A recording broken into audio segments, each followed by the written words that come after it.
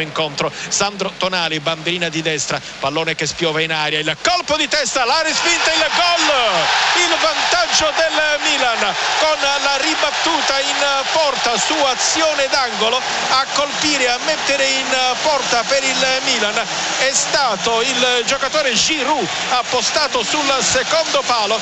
Eh, quelli del Torino stanno invitando l'arbitro a verificare la posizione di Giroud ma l'impressione è che il francese campione del mondo mondo partisse da dietro e questo è un classico schema azione d'angolo sponda di testa Giroud sul secondo palo piatto di sinistro e gol al tredicesimo il Milan è in vantaggio con Olivier Giroud e gol importantissimo perché finora senza strafare per carità la partita la a Brecalo dalla tre quarti qualcuno per evitare di rimanere imbottigliato nel traffico sta lasciando le tribune del Meazza. C'è anche Milinkovic Savic in area di rigore se le gioca tutte il Torino tutto il Milan dietro ma c'è anche Milinkovic Savic che è alto 2,02 m e quindi insomma la sua presenza non passa inosservata. Ancora Brecalo che va alla battuta il tocco corto ancora per Brecalo. Brecalo la mette in aria vanno tutti a vuoto Tatarussanus la vede sbucare lì e regala un angolo.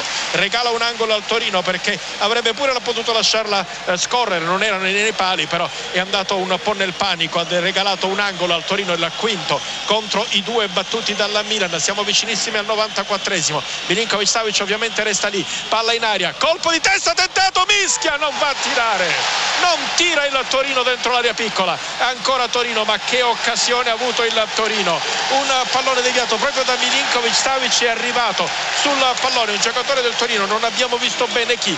Non se l'è sentita di tirare. Ha provato un controllo. Certo non era facile. Però ecco lì Beppe Dossena Giroud la mette in porta. Il giocatore del Torino adesso eh, mi pare fosse Pobega non so se ho visto bene non è andato a tirare ma questa è una grossa occasione che il Torino ha sì, mancato. assolutamente. Quella palla pericolosamente davanti nell'area piccola. E fortunatamente per il Milan nessuno ci ha messo uh, il piedone per, per, buttarla in porta. E ha rischiato tanto però la mia sensazione è che, che il Milan sia molto stanco quasi esausto perché mh, mm, poco, poco ha, ha, fatto gol subito ma poi ha dovuto, ha dovuto subire il Torino e non, è, non ha avuto nessun tipo di reazione.